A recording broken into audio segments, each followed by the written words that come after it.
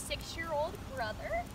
Um, these two dogs both have some basic obedience. They have a basic understanding of come, sit down, but they do have some behaviors that need cleaned up. Scout in particular does not have a great recall. They absolutely cannot trust her off-leash outside. Um, if she does accidentally get out of the house, she will run. So they are particularly worried about her recall. They would love to do things with her like take them off leash, um, hiking, and be able to take them out to dinner sometimes. But with their energy level and their um, lack of stability, that makes it really difficult for them. So those will be some things we're really looking to clean up, along with some door manners, jumping on people, barking, some really basic uh, types of things like that. So I'll show you what Scout knows now. Scout, come. Yeah, good girl.